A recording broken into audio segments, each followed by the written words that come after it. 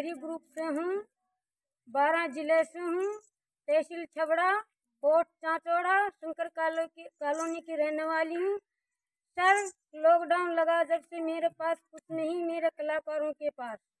Sir, आपसे मैं विनती करती हूँ, मेरे कलाकारों को कुछ मदद दिया जाए। इसलिए आपसे बार बार हाथ जोड़ कर विनती करती हूँ कि मैं तस्वीर आपसे निवेदन करती हूँ कि मेरे कलाकारों को कुछ दिया जाए।